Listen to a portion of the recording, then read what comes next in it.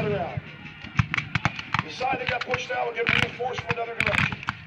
Back across the field they go. The other side then will get reinforced. And the fighting crisscross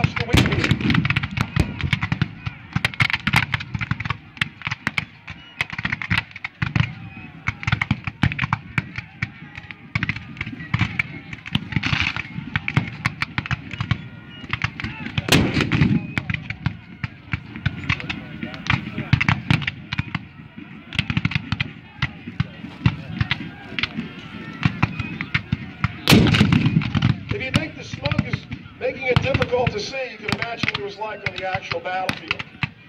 Once again, adding to the confusion of the scene. Sometimes you really can't see what's right out in front of you.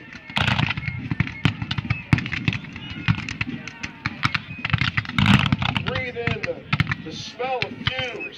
This is what they would have experienced.